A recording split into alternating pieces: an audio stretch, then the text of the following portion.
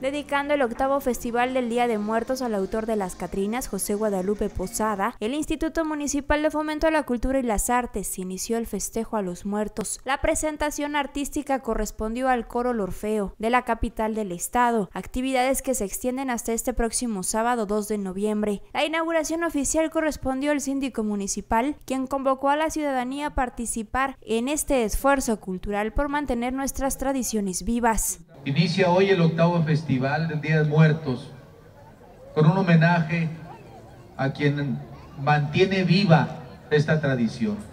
José Guadalupe Posada, nada más ni nada menos que el padre de tantas bonitas Catrinas como las que tenemos hoy aquí esta noche. Aplauso para las Catrinas.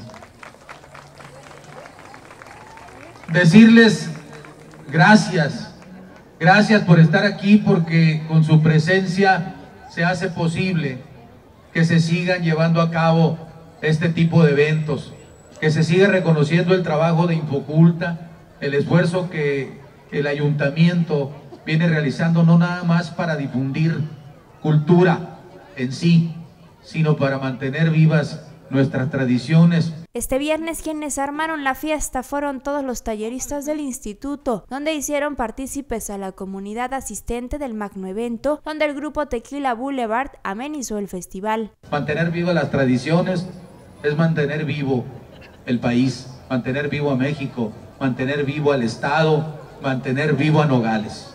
Felicidades, buenas noches y que disfruten lo que hoy, esta noche, una buena noche, iniciamos. La fiesta culmina este sábado con una agenda de actividades interesantes, sobre todo el cierre en Infoculta. Astrid Haddad presentará Vivir Muriendo, cerrando así la tradición prehispánica de festejar a los muertos. Para el día de mañana sábado queremos concluir este festival en plan grande, vamos a tener una procesión muy vistosa también con, con Catrinas, con gente que se maquilla acorde a esta época y que va a desfilar de, por toda la calle internacional a la altura de la Escuela Belardo L. Rodríguez. Estaremos partiendo hasta llegar al Panteón Nacional en el que haremos una eh, serie de exhibición y bueno, de ahí nos estaremos trasladando eh, a Infoculta porque tenemos la actuación de Astrid Haddad, una cantante extraordinaria, con su propio estilo, con una forma muy peculiar